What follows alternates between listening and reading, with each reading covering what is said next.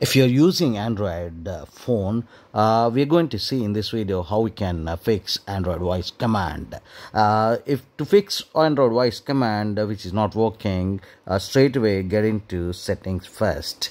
Upon going to settings on the icon just go there and in the search settings type for android android yes auto Android Auto is the thing which you have to search and tap it here.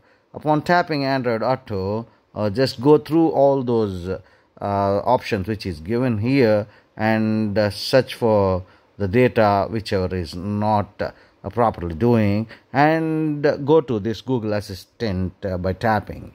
Upon tapping Google Assistant, you will be getting several options here. Quickly get into languages and uh, while you're speaking uh, to android if you are uh, uh, making in english and if that language is something else like in my case it is still english. But if you have changed it uh, to some other language or by mistake it has been changed then your android won't be understanding uh, the english language whichever you are giving as a command. So try to change it to english. In my case it is english only. After changing here uh, straight away what you can do uh, you can again go to settings and under the settings go to system uh, where uh, you can update the system uh, for the latest update.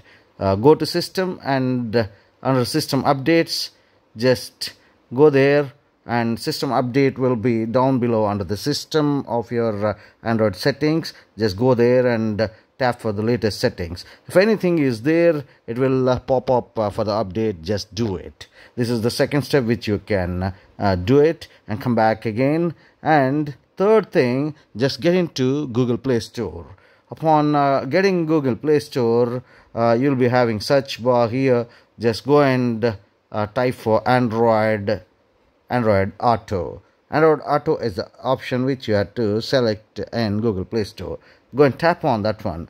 Upon tapping you'll be understanding google uh, android auto is already installed here. Just tap it here upon tapping it will throw you to update your android auto. Just go and update it. Boom. Uh, these three steps will be making you uh, getting solved about your android voice command and it is fixing very much uh, properly. Thank you so much for watching this video. See you in the next one. Till then bye bye subscribe the channel like and share the video for more such valuable content in the future too